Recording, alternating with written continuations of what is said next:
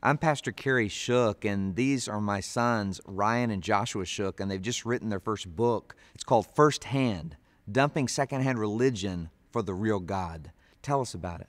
Josh and I grew up in church, so we've done the checklist Christianity. I I think it's so easy to make Christianity a checklist to try to gain God's approval, and when you do that, even the good things turn into empty religion. Checklist Christianity isn't what we wanted at all. We had to tell kids our age and high schoolers how vitally important it is to have a faith that is your own, a faith that isn't borrowed, but is directly original from God to us. we realize that authenticity is only gained by being real and awkward, you know, with people and with God, and, and we should rejoice in that. And we and we can we are free to be open about, you know, how messed up we are because we have a Savior who forgave it all. You know, I, I just love this book, and I, I just know that it's going to make an impact in thousands of lives. So, thanks.